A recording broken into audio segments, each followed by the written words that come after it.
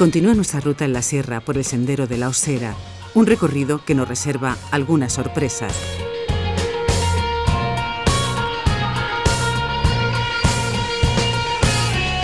Nos adentramos en esta cavidad conocida como la Cueva de Jesús. Eso sí, ataviados con el casco, las luces frontales y todo lo necesario.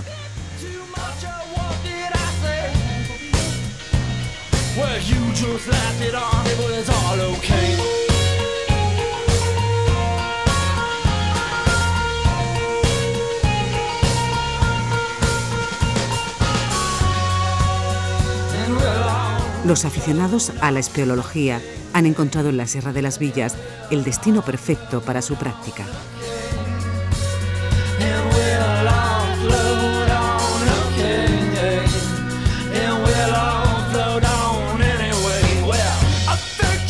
La Sierra de las Villas paisajísticamente hablando es muy diferente porque tiene básicamente eh, es muy agrusta, entonces tiene muchos barrancos, muchos arroyos en esos barrancos y tiene mucha agua.